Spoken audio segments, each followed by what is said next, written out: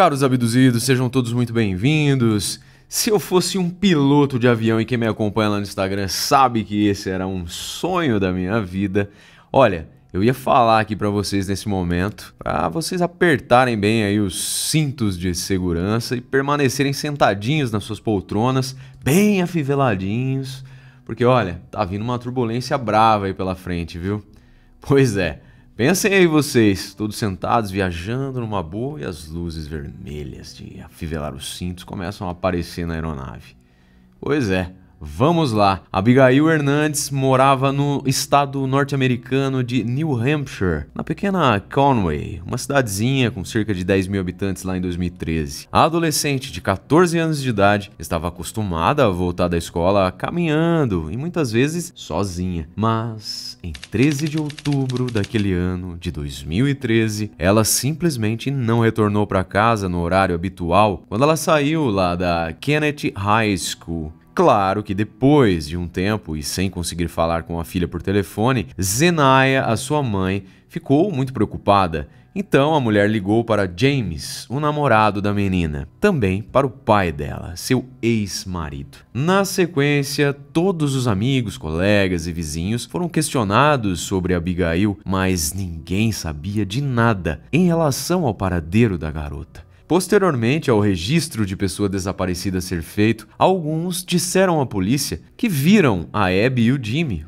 os dois namoradinhos, né, em uma loja de conveniência na véspera, no dia 12, supostamente vendo o preço de um teste de gravidez. Vai vendo. Então, Nove meses depois de evaporar em plena luz do dia, Abby bateu na porta da casa de sua mãe. A história que ela tinha para contar. Ah, caríssimos, passageiros, a história de Abigail Hernandes realmente vai dar uma balançada no nosso voo. Então, se você tem medo de turbulência, medo de voar, já segura aí, pega um suquinho, um vinho, porque não, um café, uma comidinha. Já deixa um like nesse vídeo para mim se você gosta do nosso trabalho aqui no Insólito. Também considere entrar para o nosso clube de membros, galera. Sai sempre vídeo aqui com antecedência para os membros. São três conteúdos inéditos por semana que mais? Segue lá no Instagram também. Faz tempo que vocês não me marcam lá. Me marca lá que eu gosto de ver quem tá assistindo os episódios, fechou? E é isso. Acho que é isso. Qualquer coisa eu deixo no comentário fixado outro recado que porventura eu tenha esquecido, fechou? É isso então, recados dados. Vamos ao, aos fatos.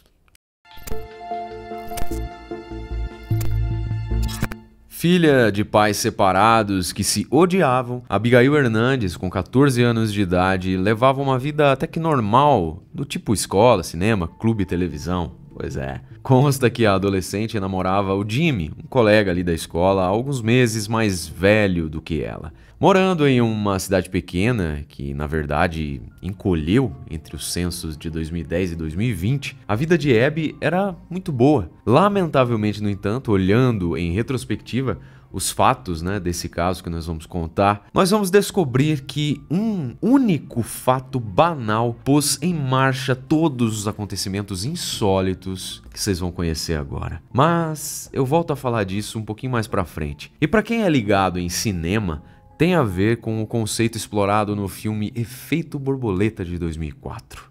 Já assistiram? Pois é. Mas voltando aqui aos fatos, a Abby andava pela rua em direção à sua casa naquele dia 13 de outubro, quando seu namoradinho James Campbell Jr., o Jimmy, que estava dentro de um ônibus escolar, viu a garota e solicitou ao motorista que parasse e deixasse ele descer. Mas isso era contra as regras do transporte, então o condutor seguiu em frente e a imagem de Abigail no espelho retrovisor ficou cada vez menor até desaparecer por completo. Eles foram as últimas pessoas a verem a Abigail. Já antecipamos para vocês que ela desapareceu sem deixar nenhuma pista. E vale saber também que as buscas realizadas por ela foram as maiores da história do estado. Rumores e teorias das mais pessimistas até as mais malucas correram aí de boca em boca, agitando e assustando aquela pequena comunidade daquela cidadezinha lá do estado New Hampshire.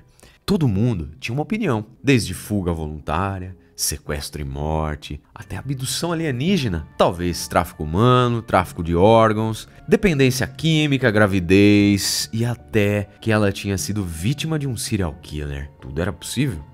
Ou seja, não existiam expectativas positivas sobre o que poderia ter acontecido com a adolescente que mal tinha começado o primeiro ano do ensino médio. Esse suspense todo aí durou nove meses tempo em que sua família, investigadores e toda a comunidade passaram a acreditar sem acreditarem na sua morte. Isso porque, galera, a esperança permanece viva até a localização de um cadáver. Vocês não concordam? Então, as investigações policiais foram minuciosas em relação ao Jimmy, o namoradinho. Pois antes do seu desaparecimento, a Abby passava quase todos os dias na casa dos Campbell. E a menina se tornou incrivelmente próxima dos pais do Jimmy, o Sr. James e a Sra. Denise. O homem, que era um motorista de caminhão guincho, nunca acreditou em uma fuga. Ele disse o seguinte: não era possível ela fugir. Não a Abby que eu conhecia. Ela esteve conosco apenas dois dias antes de desaparecer. Fomos juntos em família a uma feira local e ela parecia ótima, absolutamente excelente. Eu simplesmente não consigo entender o que aconteceu, o porquê ela desapareceu. Apesar de suspeitos e investigados, Nenhuma evidência jamais aproximou essa família do caso. Só lembrando a vocês que esse desaparecimento se tornou um caso de polícia pelo fato de ela ser menor de idade. Por mais improvável que fosse, Abigail Hernandes voltou, é, da mesma maneira como ela tinha sumido. Ela retornou piscar de olhos. Em 24 de julho de 2014, nove meses depois de desaparecer, em um belo dia, ela foi vista caminhando muito perto da sua própria casa. Ela tinha um grande sorriso no rosto e voluntariamente entrou no imóvel chamando pelo nome da mãe. Dá para crer? Ela vestia a mesma roupa que usava no ano anterior, como se o tempo não tivesse passado para ela. Simples assim, sem salvamento heróico, sem luzes estranhas no céu, sem FBI. Uma semana depois, a polícia estadual invadiu a residência de Nathaniel Kibb, de 34 anos, um falsificador de dinheiro, e o prendeu. Esse homem aí logo admitiu seus diversos crimes e assumiu que ele mesmo havia sequestrado e mantido em cativeiro durante nove meses a nossa protagonista adolescente, Abigail Hernandes. Pouco a pouco, Abigail foi capaz de dar informações sobre o que tinha acontecido com ela. A garota foi ouvida pela polícia, mas de início ela repetia que não conhecia a identidade do seu raptor, nem onde tinha estado presa, e o retrato falado do criminoso, elaborado com base no depoimento dela, não se parece em nada com o tal Nathaniel. Em resumo, galera, quando voltava da escola, Inadvertidamente, ela aceitou carona de um rapaz que dirigia uma caminhonete. A princípio, Nathaniel foi bem gentil com a garota e até mesmo perguntou a ela se eles poderiam fazer uma rápida parada na loja Home Depot, um estabelecimento ali comercial de uma grande rede de lojas de materiais de construção ou alguma coisa nesse sentido aí. Para a Abby, essa parada seria excelente, visto que ela disse que dali mesmo ela poderia voltar para sua casa, que ficava próxima. Mas, nesse momento, o condutor do veículo mostrou quem verdadeiramente ele era quando sacou uma pistola preta e ameaçou explodir o cérebro de Abby caso ela gritasse ou pedisse socorro. Quando, mais tarde, o caso contra Nathaniel foi construído pelos promotores, os detalhes desse relato assustador foram divulgados, a arma que o sequestrador tinha em mãos era uma taser, uma arma de choque, que foi usada em Abby repetidamente ao longo do caminho, causando dor, medo e a impedindo de reagir. De maneira cínica, ele perguntou se doía. Ela respondeu que sim. Então o motorista concluiu: Pois bem, agora você sabe como é. Esse era o único prenúncio do que estaria à espera dela dali em diante em matéria de psicopatia do seu raptor.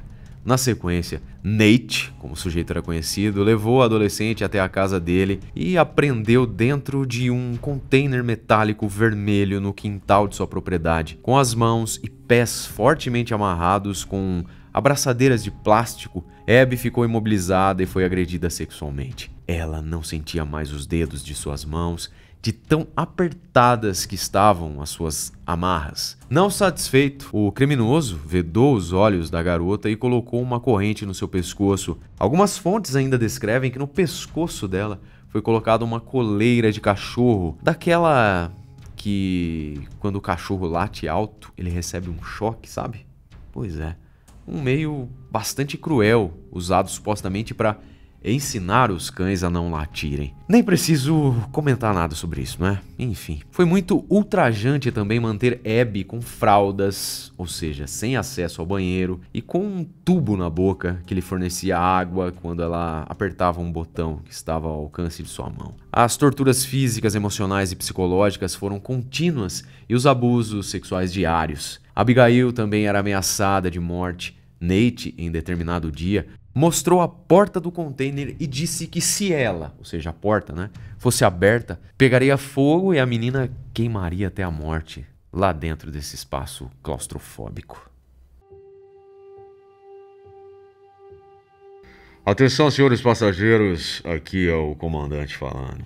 Gostaria que todos vocês se lembrassem dos seus 14 anos de idade, onde vocês moravam, o que vocês faziam além de estudar Alguma memória em especial? Algum acontecimento?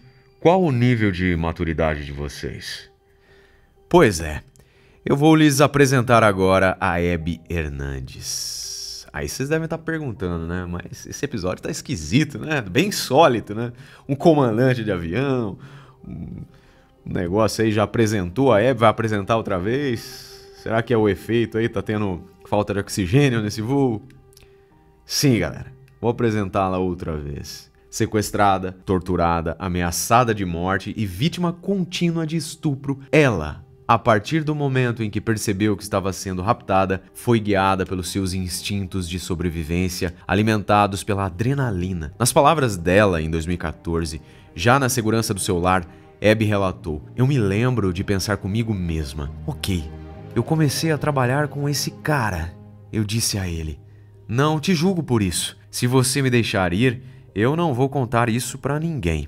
Mesmo sabendo que suas tentativas iniciais de negociar com seu sequestrador não foram bem-sucedidas, ela manteve viva a esperança. Ela orava por forças para sobreviver àquela loucura toda que havia mudado sua vida para sempre em questão de 10 ou 15 minutos. E essa história de tentar persuadir um criminoso acabou dando certo também em um outro caso que a gente apresentou aqui recentemente, o da Vanessa Vezelka, não sei se vocês estão lembrados.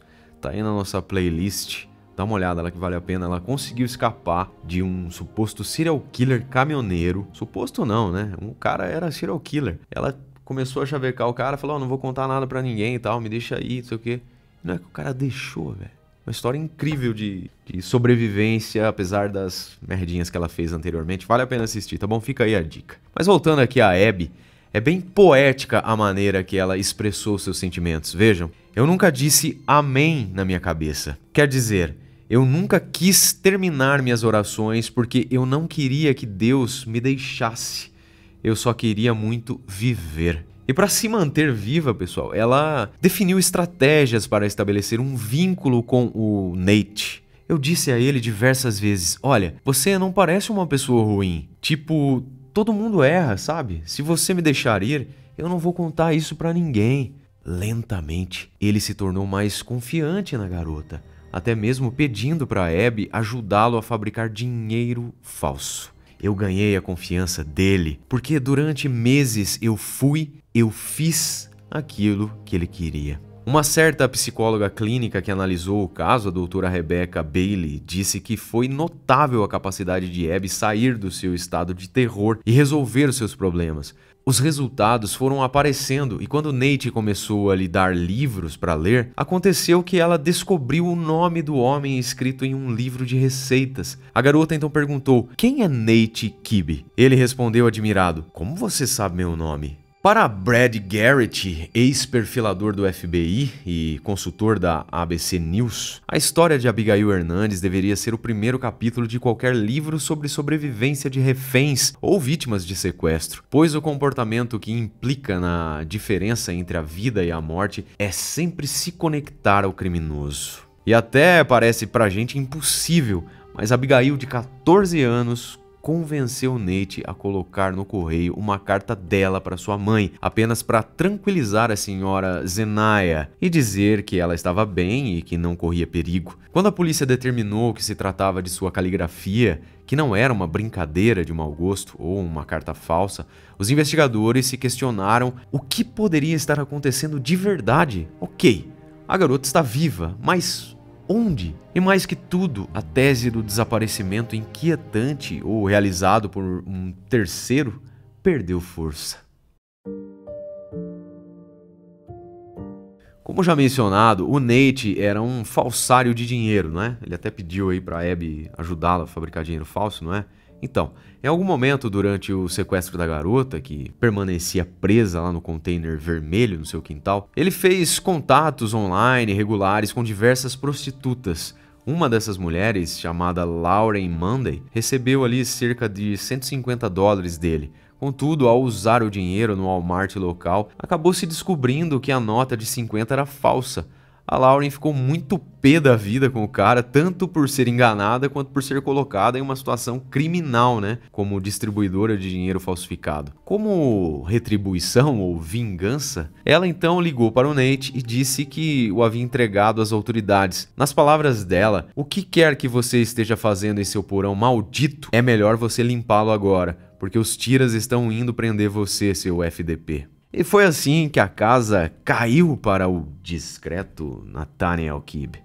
Certo de que a polícia bateria na sua porta a qualquer instante, ele negociou o silêncio de Abby, afirmando que a libertaria caso ela jurasse não revelar a identidade dele. Sua coragem e determinação diante de um tratamento impensável, em última análise, seriam a razão de sua sobrevivência e do seu retorno para casa. Era ela que estava escrevendo o final dessa história, quase irreal. Então, em julho de 2014, Nate levou a menina de carro, onde ele a havia sequestrado nove meses antes. Ela caminhou o quilômetro restante até a casa de sua mãe e ela disse: Eu me lembro de olhar para cima e rir apenas por estar tão feliz naquele momento. Disse a Abby: Oh, meu Deus, isso realmente aconteceu. Sou uma pessoa livre. Nunca pensei que isso fosse acontecer comigo, mas eu estou livre. O Nathaniel foi logicamente preso, mas não foi julgado pelos seus crimes. Seguindo a orientação do seu advogado, o homem se declarou culpado de sete acusações relacionadas ao sequestro e agressão sexual repetida de uma adolescente durante o período de nove meses. Com esse acordo de delação, ele cumprirá de 45 a 90 anos de prisão. Abigail se dirigiu à sala de audiências depois de o juiz pronunciar essa sentença e também falou diretamente ao seu agressor, afirmando ao tribunal que muitas vezes ela pensa em Nate como um humano, não como um monstro expressão utilizada por muitos para descrevê-lo. Ela disse: Eu gosto e aprecio a vida por causa de você. Obrigada por não me matar e devolver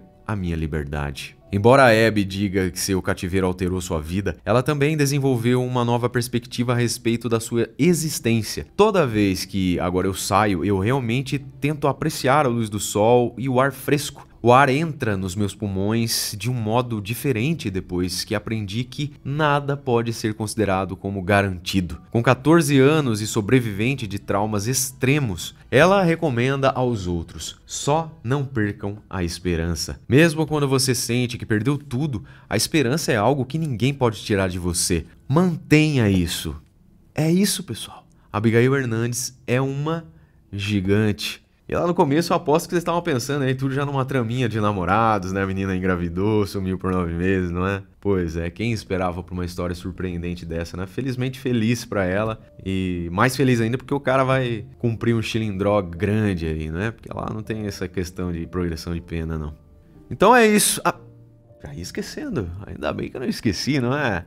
Estava esquecendo aqui de comentar com vocês, compartilhar com vocês o fato banal que pôs em marcha todos os acontecimentos desse relato de hoje. Aquele bater de asas da borboleta que deu origem a um tsunami. Vocês estão ligados, não é? Como Abigail estava usando botas sem meias naquele dia, o sapato a machucou. Ela tinha bolhas nos pés e por isso aceitou a carona. Um fato banal. O acaso, mais uma vez, fazendo presente em um caso criminal, não é? É isso, pessoal. Agora sim, quero saber a opinião de vocês sobre esse caso, tá? É isso, um beijo do Ruivo. Espero vê-los no próximo episódio. Será que a gente conta um, umas curiosidades aí sobre o efeito borboleta ou não? Pode ser legal, né? Então bora. Em 1952, o escritor de ficção científica norte-americano Ray Bradbury publicou o conto O Som do Trovão. Nesse conto, uma personagem pisa em uma borboleta e esse pequeno detalhe traz graves consequências, incluindo a chegada de um líder fascista ao poder em 1961. O que era ficção se tornou realidade científica.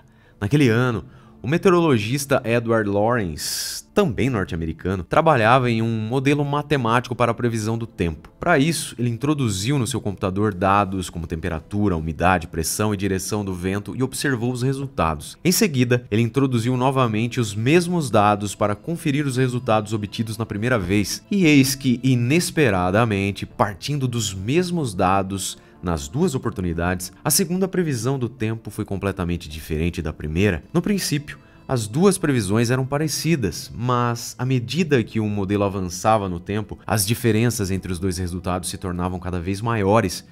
O que aconteceu? Essa diferença tão radical entre os dois prognósticos ocorreu simplesmente porque na segunda vez o computador de Lawrence havia arredondado os dados, ou seja, ele considerou algumas casas decimais a menos. Assim se percebeu que algumas poucas casas decimais aparentemente insignificantes ao longo do tempo podem ocasionar alterações monumentais. Para Lawrence, isso equivalia a dizer que o vento que causa o bater das asas de uma borboleta no Brasil pode ocasionar um tornado no Texas, nos Estados Unidos. Assim nascia a teoria do caos com seu efeito borboleta, indicando que variações muito pequenas podem parecer insignificantes, mas gerarão enormes mudanças ao longo do tempo, provocando uma sensação de caos. Efeito borboleta inspirou diversas obras culturais de grande sucesso.